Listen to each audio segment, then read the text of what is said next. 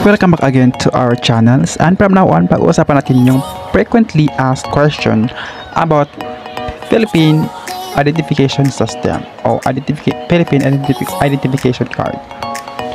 So first is what is the Republic Act number 11055?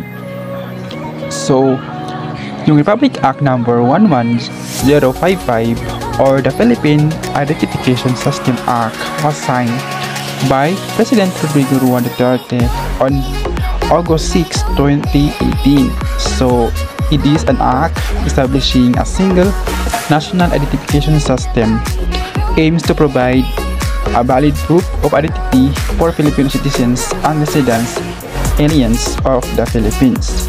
So, ayan o. So, yung Republic Act is ito yung batas na nag nagpo-provide or nag uh, signed by Duterte na kailangan magkaroon ng national ID.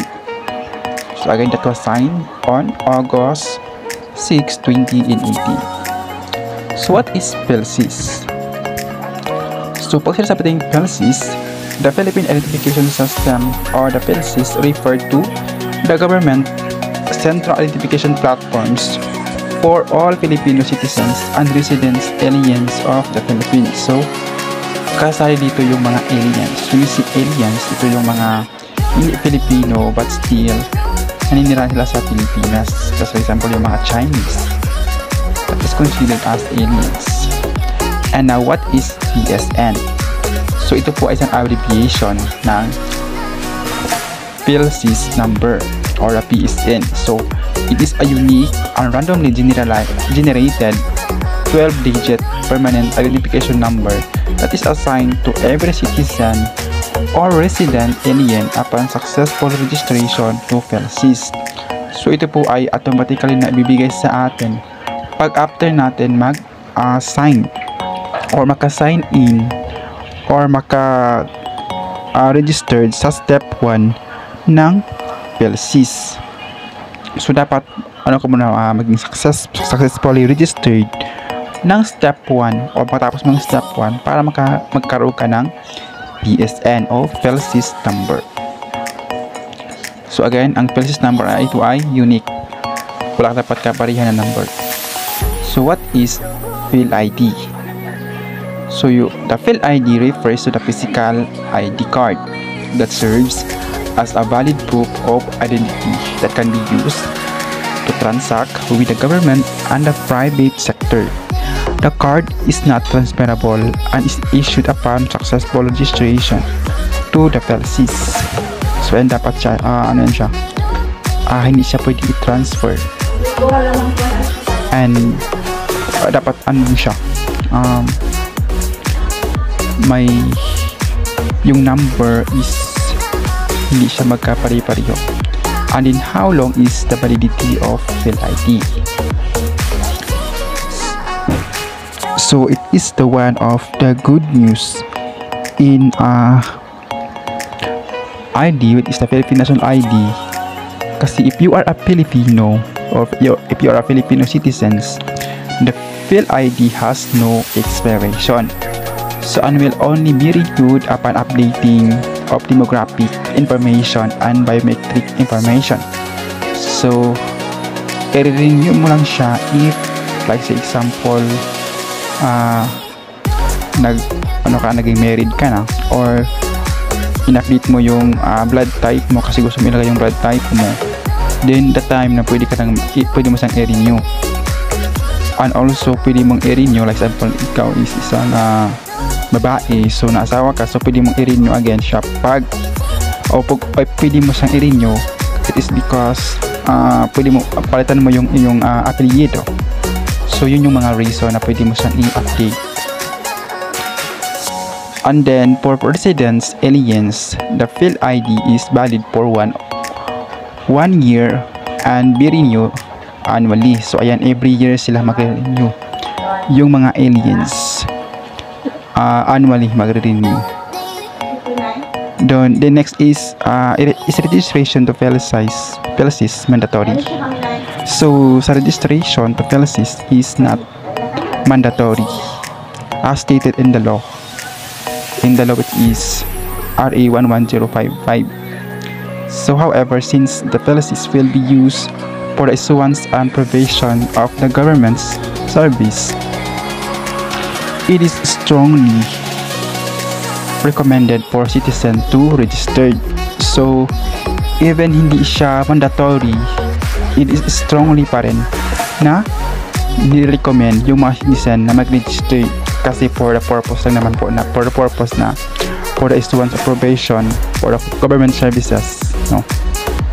Kasi there is a lot of kasi benefits if you have the Philippines national ID so next is what are the requirements or documents needed for registration to PLCs so meron tayong tatlo na papipilian meron tayong primary and the secondary and then yung last if wala kang choice sa dalawa so the registrant is required to bring the original copy of any of the following primary documents.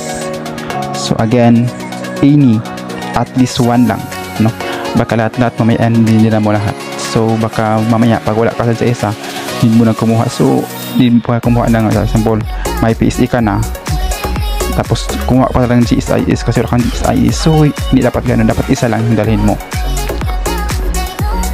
So you can bring uh, PS, uh, PSA issued certificate of live birth and one government issue identification document which bear fully name, front facing photograph, and signature or mark. So dapat pag may PSA ka dapat meron ka ding dalang na, na, dala na identification card which is from the government or issued from the government which is nakalagay dyan yung full name and then also yung front facing photograph and also signature or tamark so kung walang tamark so at least man lang may signature or mas better na may tamark so next next sa ating primary is the Philippine passport or e-passport issued by the Department of Foreign Affairs or the DFA so ayan yun, yun yung primary natin.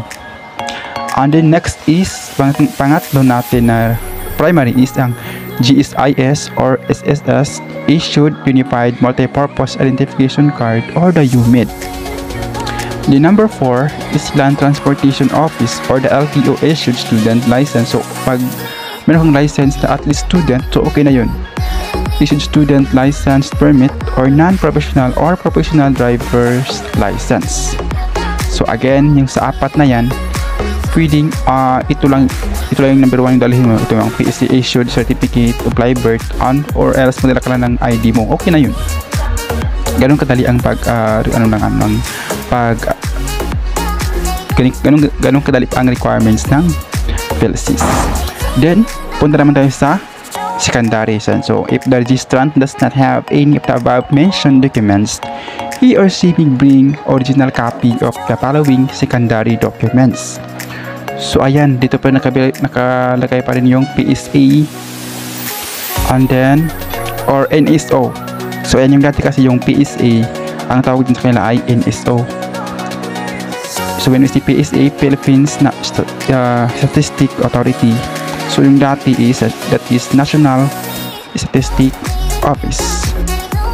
Issued certificate or live birth. So ito po yung pili natin dalhin. So so ito So yung sa NSO at least na naman lang meron kang birth with uh, live birth with birth reference number or brand.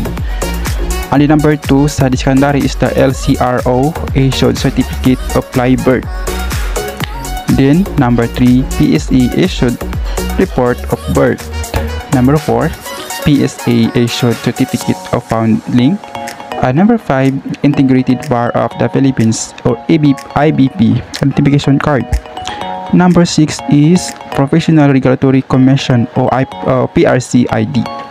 Or if you are already registered as professional, like for you are a teacher, you already passed the PRC or the board exam. So if you have already ID or any profession na napasahan mo, if meron ka ID, so pwede mo yung dalhin. And next is the Seaman's Book. Then Overseas Worker Welfare Administration, OWA, or OWA.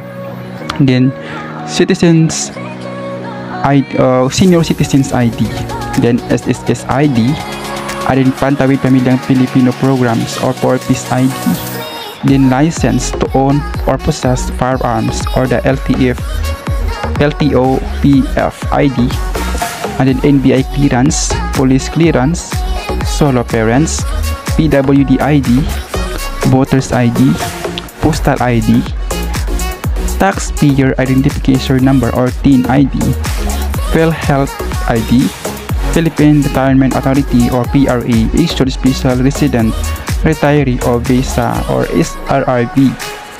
The number 22 national ID from other countries then residence ID from other countries. So ayan ang dami ng ang dami ng pwedeng mapilian natin na requirements na pwede natin dalhin. So sa, grabe naman sa dami na yan wala kang requirements o wala kang isa dyan. Sa 22 na yan wala kang isa talaga dyan. Grabe naman. So and then so pag wala ka talaga dun sa ano sa dinami-dami dyan so meron naman tayong uh, other option so the following identification documents shall be accepted as secondary supporting documents provided that they have a front-facing photograph, signature or tamar, full name, permanent address, and date of birth. So ayan, pwede natin dalhin ito pag wala tayo dun sa primary at saka secondary. Ito yung pwede natin dalhin na mga uh, documents or um, ID. So one of those, this is employee ID. So like example, nag-work ka, like example nag, nag-work ka lang sa barangay. So pwede mong talhin yung um, ID mo kung may ID ka sa barangay. Then next is school ID if you're a student so you, you should bring your ID so like example if may meron kang ID sa library and then also meron kang ID sa uh, as school ID so pwede mong talhin yung dalawa para hindi para insure, para sure talaga. Then next is barangay clearance slash certificate. And then last is barangay ID and then next is city or municipality ID so last question or the second question asked is what is the minimum age for registration for to PhilSys so registration to PhilSys is open to all age age ages even to newborn children. So pwede natin i-register kahit yung uh, bagong panganak na isang panabata. So for children below 5 years 5 years old only the demographic information and front facing photograph will be collected under PSN will be linked to the parent or legal guardian.